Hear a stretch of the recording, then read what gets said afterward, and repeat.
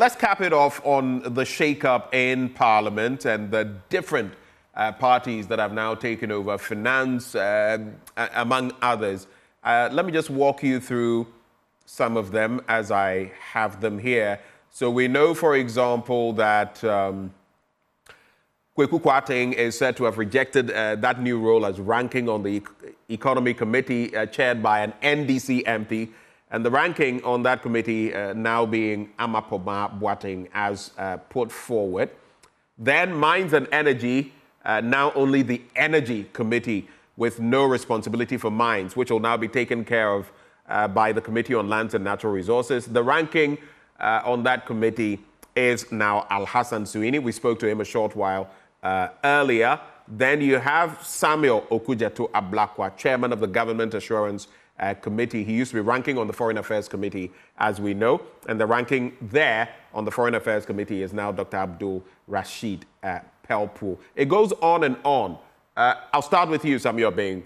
This shakeup, the relevance of the shakeup at this time in uh, the dying embers of the eighth Parliament. How do you relate to it? Well, first of all, it is important can you hear me? I can hear you. Please go ahead. Right. First of all, it is important to note that um, this has come about as a result of the changes to the standing orders of, of Parliament, right?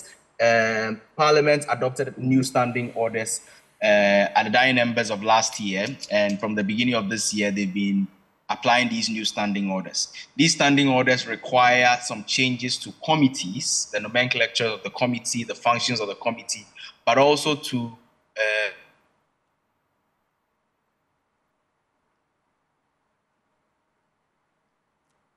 Bing. Um, and, and also to the issues around how many members of parliament make up each one of these committees. And so naturally, it was expected that the uh, Committee on Selection, which is the committee that uh, cha- chaired by uh, the Right Honourable Speaker uh, by the Standing Orders of Parliament, that is responsible for getting the two sides to agree on who and who becomes members of their respective members from their respective caucuses being on committees, get to do their work and announce new committees. So uh, uh, the timing, yes, it's quite interesting, but it's it's it's a requirement from the new standing orders, right? That's the first point. The second point is that these new committees arrangements is also very progressive. In fact, it is in line with modern trends so far as parliamentary practice and parliamentary work is concerned. What do I mean by that? You know, we had an instance in the past where only uh, the subsidiary legislation committee, public accounts committee, you know, uh, chaired by the minority in parliament, uh, or the, the party that has not formed the government, you know, in, in, in parliament. The rest are all chaired by parties that are forming government. And we've noticed from parliamentary practice the world over that this is not very uh, healthy uh, for purpose of oversight, for purpose of accountability, for purpose of transparency. And so Parliament of Ghana has transformed this greatly and has introduced instances where there are specific committees that will be chaired by the party that forms the government for very good reason. You know, I mean, uh, committees that are dealing with issues of national security for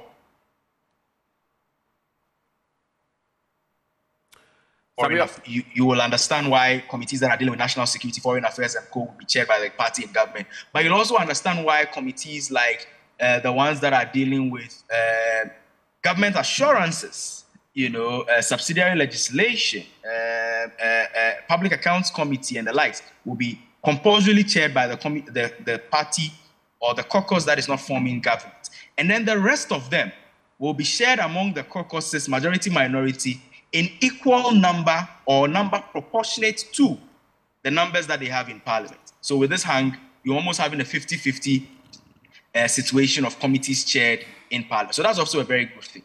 Uh, so these are the backgrounds to why this has happened. And now, of course, the numbers have also reduced. You had committees that had almost 30 members, 24, 27. It made work very, very difficult. Now it's been reduced by way of how many members can make up a committee, but also the number of committees generally have gone up because some committees were too large. They needed to be split and all of you. Some of the names that have come up and some of the fallouts, rather, for me, are the interesting aspects of this. A few weeks ago, I had indicated you know, uh, uh, in, in one of the comments I had sent to some Sense News File program, how uh, people like uh, the Honorable Party as Finance Committee Chair must be protected by all of us by using our voices. Because if you saw the work that the committee was doing, and sometimes not all of these things came out in the public domain, because yes, you can understand why, for political reasons, some of these things must be dealt with internally. How a committee that is chaired by a member of parliament who is in the majority in the ruling party blocks tax exemptions because he, as chairman, together with his other members, thinks that this is not in the best interest of the nation, right? And ask the ministry to take these things back, many of them, right? Of course, you don't expect people to be very happy with these things. And for us, this is the backstory, really, for taking people like Wekukati out of a committee of finance and saying that he's going to, you know, uh, work in economy. I would have been surprised if he had, if he had, if he had accepted that. By the way, you, you get the point. So, so from so where you said it was right, it was right for him to reject it. Where, sorry. So from where you said it was right for him to reject it. Oh, absolutely. Look, we must start getting to the point where committee membership, leadership on committees, does not become a, a tool in the hands of the leadership of caucuses to either punish people or reward people who, th- who they think are loyalists, not in the interest, not in the overall national interest. And we must start speaking out on things like this, in my opinion. Of course, uh, one of the very exciting things that has happened with this shakeup is having Mr. Okudzeto Ablakwa as chairperson of G- Committee on Government Assurances. Uh, we've realized how that particular committee, depending on who is leading it, can be a very useful tool or a very useless committee. You know, and, and we've seen how useless it could be, you know, in, in, in some recent past. And so, you know, uh, we would expect a lot from that particular committee, although it will be short lived. They just have about uh, six months. But to be able to make sure that the promises that government makes on the floor of parliament, the promises that parliamentary officials make on the floor of parliament, somebody or a committee is holding them accountable to the timelines, the deadlines, and making sure that they are living up to those expectations is also very exciting. But this entire shakeup was expected to happen because of the changes in the standing orders. Right. Uh, Dr. John Osae-Kwapong, your take on that would be the shakeup, and that's how we're going to end. Yeah, so I recall that when the uh, standing, the changes to the standing orders and and and and, and uh, Dr. John Osae-Kwapong, please hold for me. Let, let me let go sure. of um, Samuel Obeng. Uh, I know you have to move on to other things. Thank you so much for your time. Uh, we're grateful, and uh, I wish you the my best. Pleasure, my pleasure always. Right, that is Samuel Obeng. He's with the Parliamentary Network Africa. Back to you, Dr. Osae-Kwapong. Thank you very much. So I recall last year when uh, the proposed changes to the standing orders uh, was made public, um, I was um, very excited about it um, because um, I think we often hear uh, this public narrative that uh, we have a very strong executive, parliament is weak, parliament doesn't really check uh, the executive as much as uh, it, it can.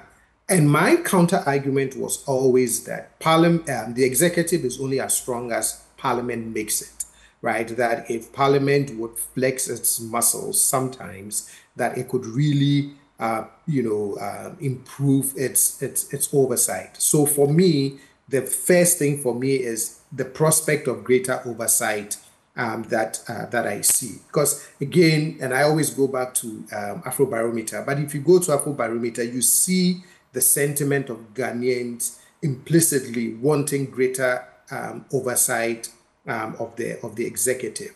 Uh, you, uh, in, you, for example, in, in 2012, only eight percent felt or perceived that the president often or always ignores Parliament, um, and then it's grown to 33 percent in the most recent Afrobarometer.